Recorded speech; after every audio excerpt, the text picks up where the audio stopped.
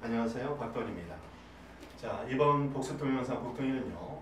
변호사 시험 3순환 1회 복습 동영상입니다. 자, 먼저 한번 보겠습니다. 최고 답안 두 개를 가지고 하는데요. 지금 먼저 여러분이 꼭 알아야 될 것은 지금 답안지 쓰는 법을 잘 모르는 분들은요. 지금 유튜브에서 변시 관련된 2018년 변시 사례 쓰는 법을 꼭 들어주시기 바랍니다. 사례 형식을 모르는 분들이 좀 많이 계신데요. 이건 꼭 알아두셔야 됩니다. 따라서 사례 쓰는 법을 먼저 보고 나서 어, 공부한다면 좀 도움이 될 거라고 보여집니다. 자, 먼저 어, 첫 번째 최고 답안을 보도록 합니다. 어, 시정지시의 청구 가부와 관련해서 시정 지시의 법적 성질을 지금 썼는데요. 법적 성질을 썼는데 질문 자체가요. 가, 원고죠. 원고가 무슨 무슨 이유로 취송을 제기할 수 있느냐, 다른 말로 다툴 수 있느냐 이런 말입니다. 질문 취지를 정확히 좀 잡아내셔야 되겠습니다. 여기 보세요. 원고가 무슨 무슨 이유로 다툴 수 있는가, 소송을 제기할 수 있는가 여기서 이 단어가 중요합니다. 원고가 주장하는 이유는 결국 뭐가 된다? 원고가 주장하는 이유는요. 원고가 주장하는 이런 사유는 나중에 보면요. 이런 사유는 위법 사유가 됩니다. 따라서 원고가 이 사유가 두 가지 정도가 나올 수 있단 말이죠. 무슨 무슨 이유로 다툴 수 있는가? 이 이유는 원고는 처벌의 위법성을 주장하겠죠. 원고가 주장하는 처벌의 위법 사유를 이런 이유로 다툴 수 있느냐는 원고가 주장하는 이번 위법 사유의 주장의 타당성을 묻는 문제가 되는 겁니다. 따라서 이런 경우에는요. 제일 먼저 써줘야 될 것은 원고가 주장하는 위법 사유가 어디에 해당되는지를 찾는 게 중요합니다. 어디에 해당되는지를 찾는 게 가장 중요해요. 찾는 방법은요. 기본이 좀 아직 부족한 분들을 위해서 먼저 적어봅니다. 처분의 위법 사유는 적법 요건을 판단하는 거죠. 처분의 적법 요건. 주형 전례입니다. 주체는 권한이 있어야 되고 일정한 형식을 갖춰야 되고 절차 규정이 있고 내용. 내용과 관련해서는 법률 유보, 법률 우위 원칙이 있죠. 우위 원칙에서는 성문법 일반 원칙, 일반 원칙에서는 비례평등, 자기구속 등 여기에 어디에 해당되는지를 찾는 게 중요합니다. 중요합니다. 그런 위법 사유를 추출해서 주장의 타당성을 검토해 주셔야 되겠습니다. 자, 이 부분 꼭 기억해 주세요.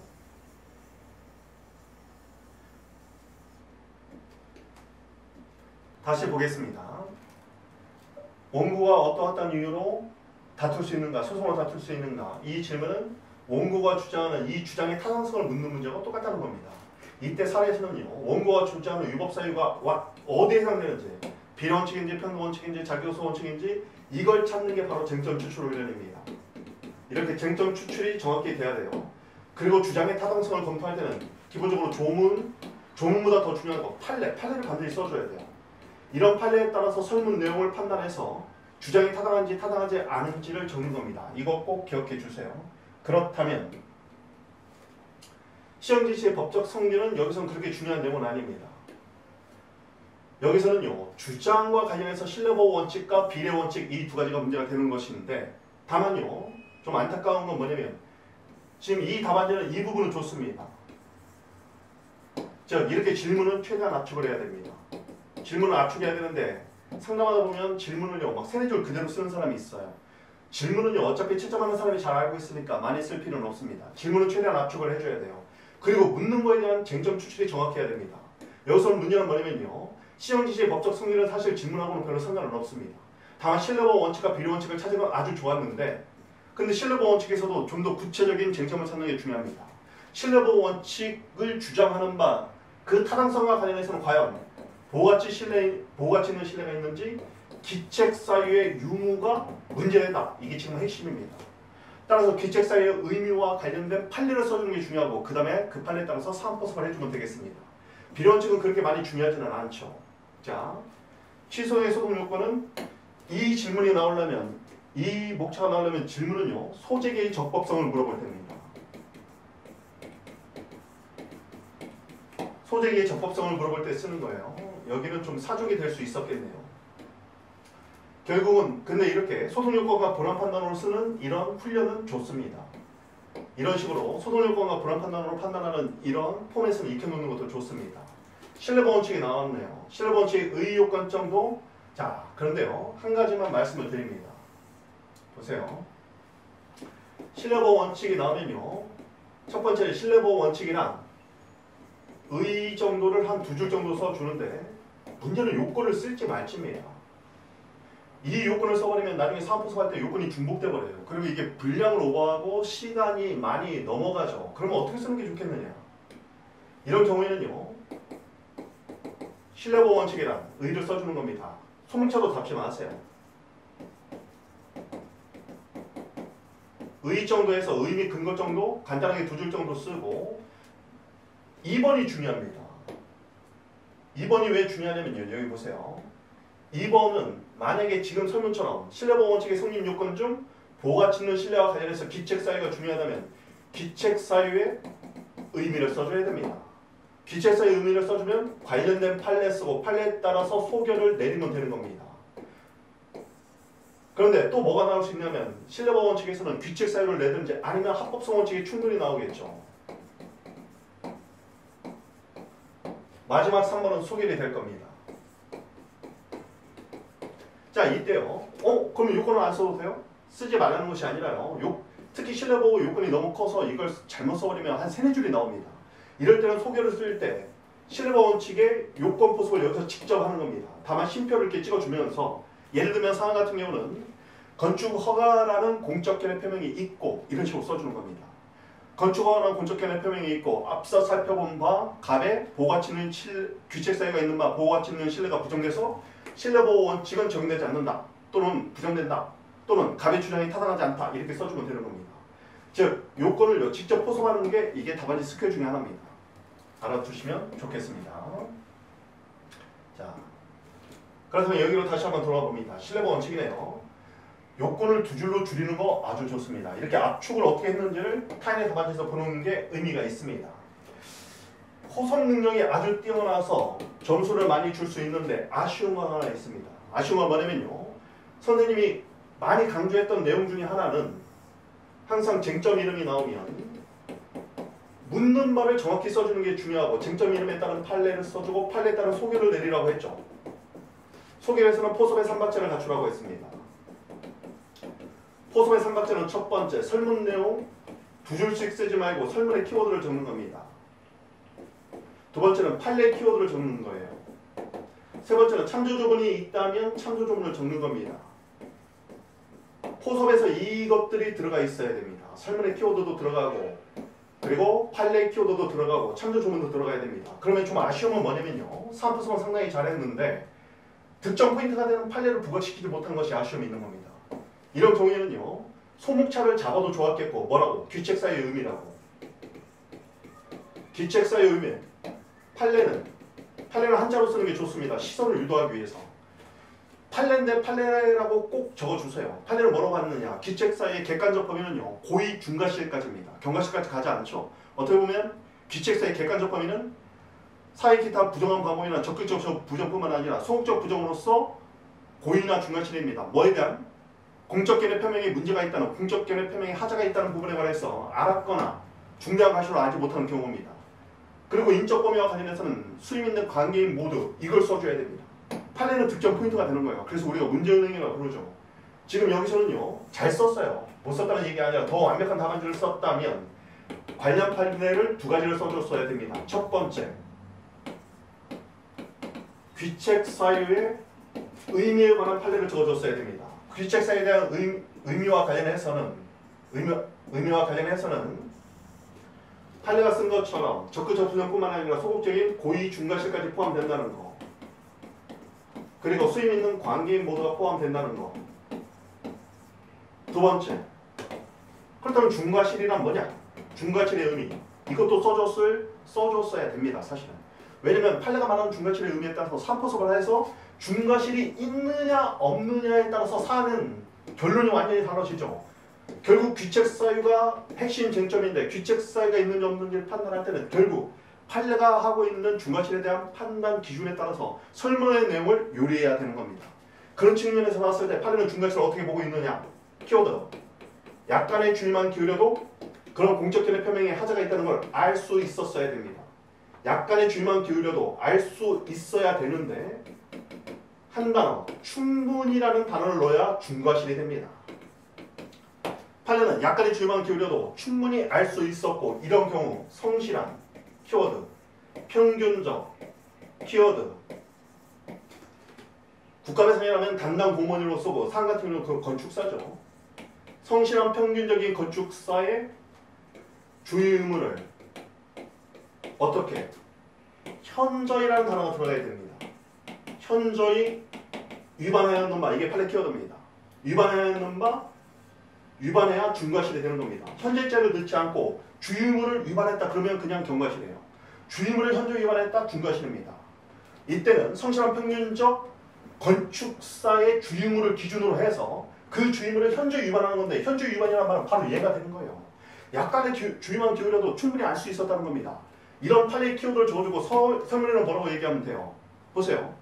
설문 내용이 뭐가 있었어요? 포섭의 삼박자 첫 번째 뭐라고 했어요? 첫 번째 설문 내용, 두 번째 판례 키워드, 세 번째 참조 조문이 있으면 참조 조문까지죠. 그렇다면 설문 내용에서는 가버님이 건축 경험이 있었는가?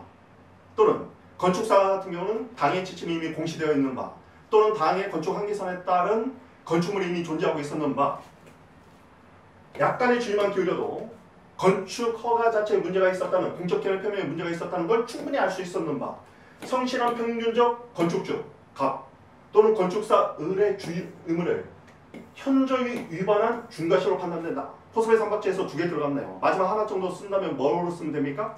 건축법 27조와 참조조문에 있었죠. 건축법 27조와 관련된 그런 대행 업무 또는 건축법상 주유 의무를 이런 식으로 해서 건축법 참조조문 이름만 넣어주면 되는 겁니다. 이게 바로 포섭의 삼박자예요.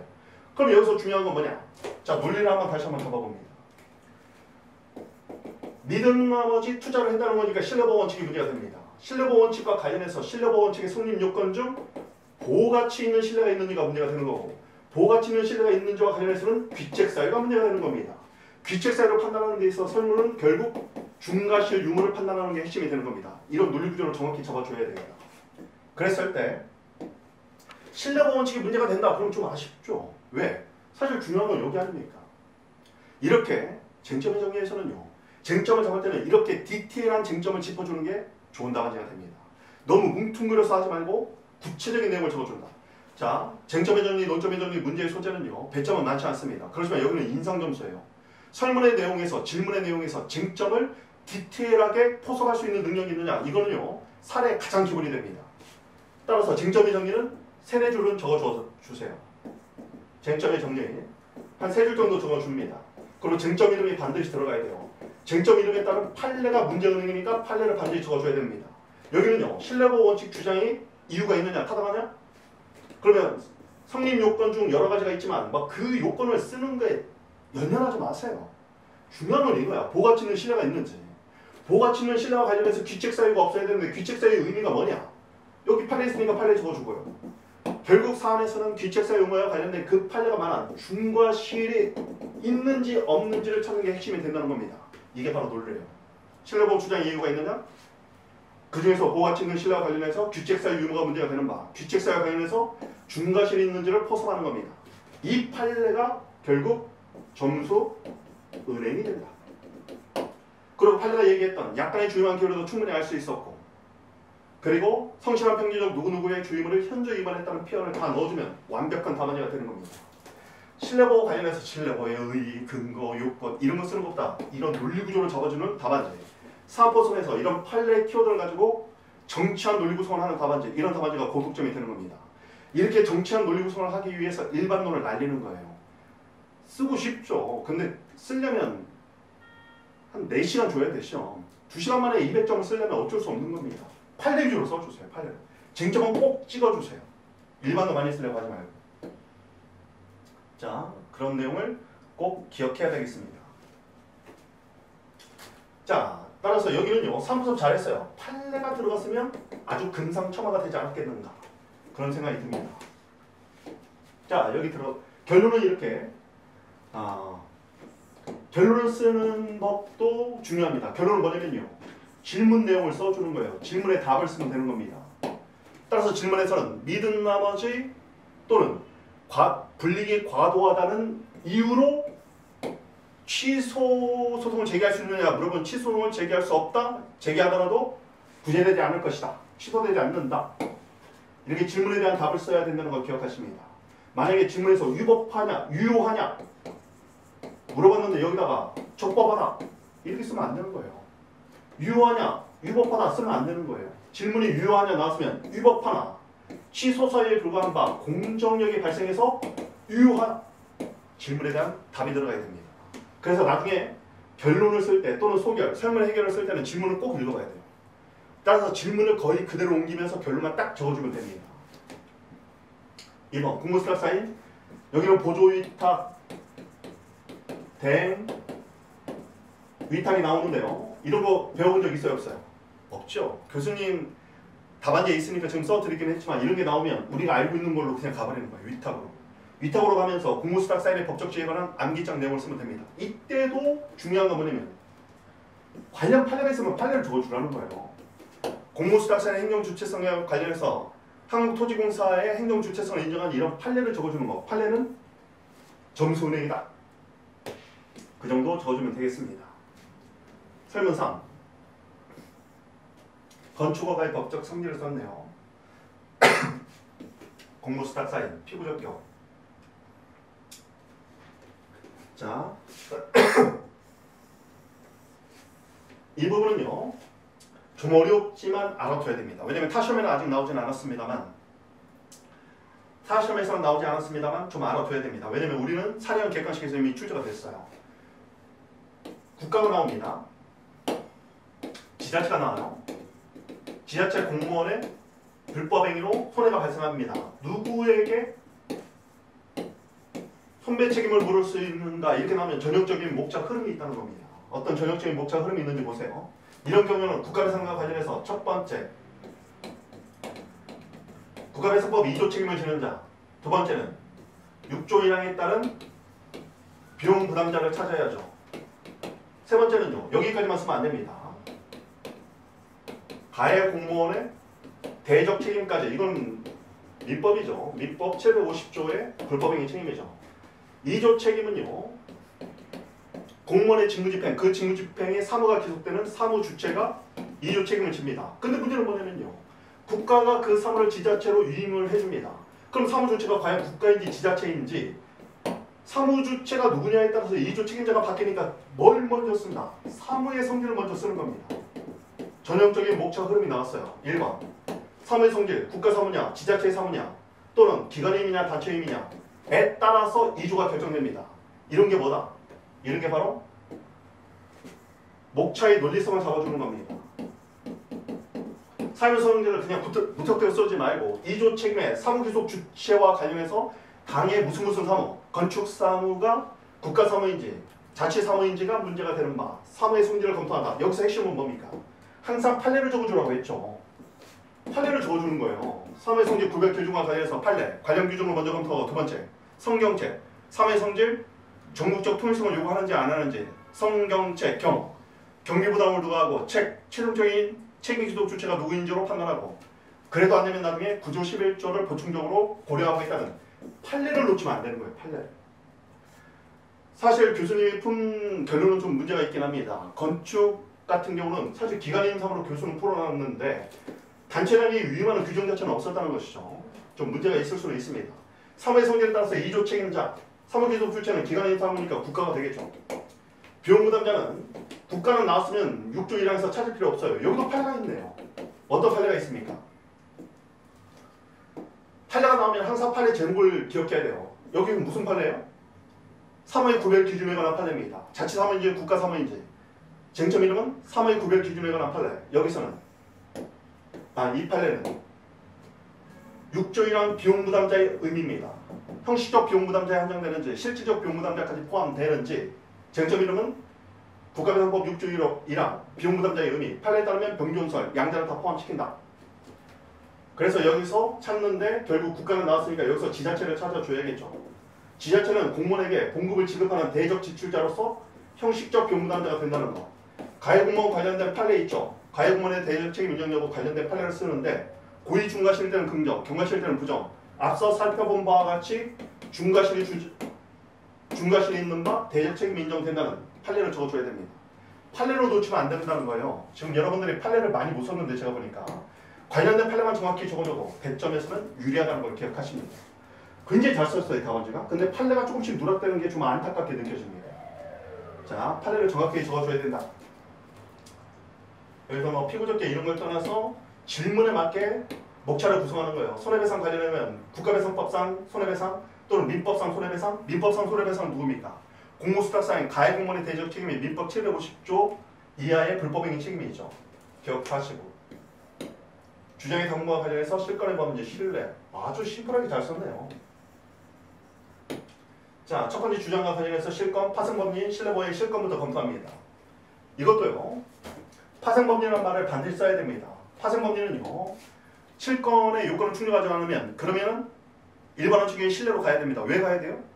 실권이 되려면 장기 3년 이상인데 만약에 1년밖에 안 됐다. 그럼 장기 요건이 깨지니까 실권은 되지 않습니다. 그렇지만 공적견의 표명으로서 보가치는 신뢰는 인정될 가능성이 있는 거예요. 자, 자기구속과 평등원칙 파생관계 있죠. 자기구속 관행이 없습니다. 그럼 자기구속 원칙이 부정되면 그냥 끝내면 돼요? 안 되죠.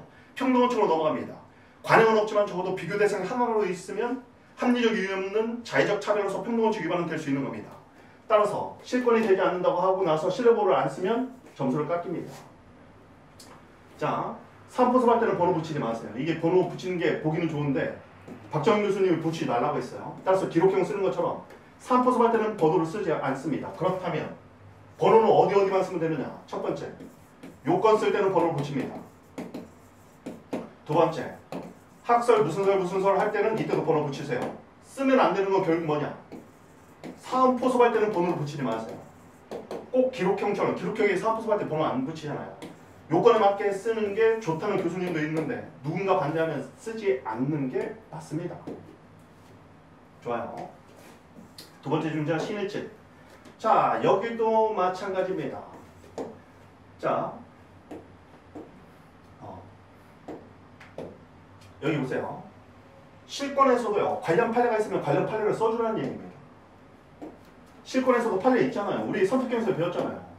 국의 여객장사 우수사법에 따른 택시 운송사업 면허와 관련해서 교통사고 이후에 3년이 지나서 어, 역, 그 택시 면허를 취소한 것이 실권이 됐다는 그런 판례가 있으니까 판례를 적어주세요. 신입칙도 마찬가지예요. 물론 실권에서는요. 이때는 요건을 써줘야 돼요. 왜냐면 첫 번째 요건 철회 사유가 있다는 걸 몰랐기 때문에 1번 요건에서 탈락이 돼버리죠. 따라서 이때는 요건도 써주고 관련 판례가 있다면 판례 점수은행이니까 써주는 겁니다. 신입칙 같은 경우도요. 요건을 쓰는데 이 요건이 사실은 판례예요. 제가 가르쳐준 이 신의식의 요건이 판례가 쓴 내용입니다. 첫 번째, 신의를 가지면 객관적인 정리한 상태. 두 번째, 이런 신의에 반하는 행정작용이 정의관념에 의해서 용역되지 않고 세 번째, 중요한 키워드 합법성이죠. 합법성 원칙을 생각하더라도 상대방 신뢰를 보호하는 것이 정의 관념에 부합해야 된다는 거 이거 판례예요. 따라서 이런 경우에는 요건을 쓸 때도 신의칙이 적용되기 위해서는 판례는 한자로 써주고 판례는 이러이러한 요건을 갖출 때 신의칙이 적용될 수 있다고 판시한 바 있다. 그러면 점수 받는 겁니다. 자, 그렇게 보시고 이건 아까 상담한 다워지네요. 자, 쟁점의 정리, 비례원칙, 신뢰보원칙 좀 더 구체적으로 써줘라. 거의 지적사항이 동일하네요. 지시의 법적 성격을 먼저 앞에서 써주는 건 상관없습니다. 근데 득점하고는 별로 상관없어 보입니다. 이런 것들도 득점하고 상관없으니까 사적으로 지워도 되겠습니다.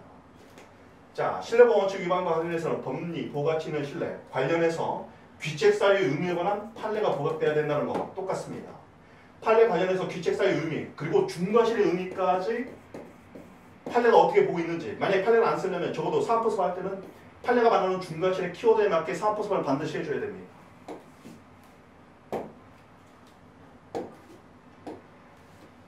자, 비론칙 관해서는 비론칙 같은 경우도 답안지 쓸 때는 의 근거 정도 한 두 줄 써주고 직접 포섭으로 들어가면서 해결을 쓰면서 이때 당의 무슨 무슨 처분은 무슨 무슨 건축에 관한 공익적 목적 달성을 위한 적합한 수단이고 덜 침입적 수단이 없는 바 최소 침해성 필요성 원칙을 충족하며 당이 무슨 무슨 처분으로 달성하려고 하는 공익과 침해에 대한 사익을 이익평양했을 때 공익이 훨씬 더 크므로 훨씬 더 크므로 합리적 비례관계를 유지한다 유지하지 못한다 포섭에서 키워드를 적어주면 좋습니다. 우리는 2시간 동안 200점 봐요. 타션하고 달라요. 그러니까 최대한 요건 같은 것들을 3포섭 할 때 그 요건의 키워드를 다 넣어주는 겁니다. 공부 스탁 사이 관련 판례를 꼭 적어줘. 판례 부각을 못하고 있어 자꾸 다들. 판례를 적어주는 연습을 계속 해야 되겠습니다. 그리고 국가배상 관련된 이 부분은요. 이 부분은 우리 사령 객관식에 나온 바가 있으니까 사례로 나올 수도 있지만 어, 사령 객관식으로 또 나올 수 있습니다. 알아두실 필요가 있겠죠. 제자의사의 승리를 이번에 물어보진 않았죠. 관련된 점입니다. 이건 질문이 있을 때만 써줘야 돼요. 학설을 쓰는데 팔, 판례를 먼저 써주는 거 좋습니다. 이렇게 판례를 꼭 써줘야 돼요. 대물적 처분이고 대인적 자, 개인적 자격, 개인적 자격에 관한 제재가 아니라 사업의 전부 또는 일부에 대한 대물적 처분으로서 승계가 인용된다는 판례 좋습니다. 여기는 조금 더 부과하면요. 선택형에서 하죠. 양수인이 모르고 양수한 자에 대한 제재 처분에 재량 일탈남이 된다는 예외 판례도 있다는 것까지 언급하면 더 좋은 답안지가 되겠습니다. 자, 행정법 일반 원칙 쭉 써줬네요. 실내법 실권, 실권을 먼저 써야죠. 파생법리니까 이건 논리성이 깨질 수 있어요. 파생법리로서 실권을 먼저 검토한다. 신의칙, 신의칙 관련된 판례 쓰면서 요건 써줘야 되겠고요. 정확한 사업포섭을 좀 해줘야 되겠습니다. 그리고 재량권 불행사토는 혜택 이런 쟁점을 놓치지 않아야 돼요. 자, 마지막 정리해 봅니다. 지금 전반적으로 봤을 때, 어, 전반적으로 봤을 때 첫 번째 쟁점의 정리, 논점의 정리 또는 문제의 소재 좀 더 구체적으로 적어줘라. 그렇다고 질문을 많이 적지는 마세요. 설문에 있는 질문을 적는 것이 아니라 이 구체적인 거 뭐냐면 세부 쟁점을 언급해 달라는 겁니다. 그냥 신뢰보가 문제된다. 이것보다는 신뢰보 원칙과 관련해서 규책 사유 유무, 특히 중과실 문제된다. 이런 식으로 적어 달라는 겁니다. 두 번째. 쟁점에 따른 판례를 반드시 부각시킨다. 지금 판례를 안 적은 답안지가 너무 많아요. 판례로 적어줘야 됩니다. 세 번째. 부수 쟁점을 반드시 터치해줘야 돼요. 터치한다는 말은 뭐냐면 여기서 말하는 터치는 강이 아니라 약으로 처리해서 언급만 해줘도 된다는 겁니다. 예를 들면 실권을 놓쳤다? 안 돼요. 또는 신의칙을 놓쳤다? 그럼 배점이 통째로 날아가죠. 또는 재량권 불행사 행사를 불행사 또는 혜택을 놓쳤다. 그럼 점수가 깎이는 거예요. 이건 언급만 하면 점수를 받는 거예요. 언급만 하면.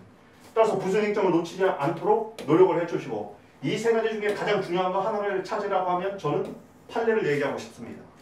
결국은요 묻는 질문에 따라서 그 쟁점의 판례에 따라서 결론을 내는 거 이게 바로 사례입니다. 특히 우리 쪽 실무 시험을 뽑는 변호사 시험에서는 반드시 이렇게 해줘야 되겠습니다. 오늘은 여기까지 하겠습니다. 수고하셨습니다.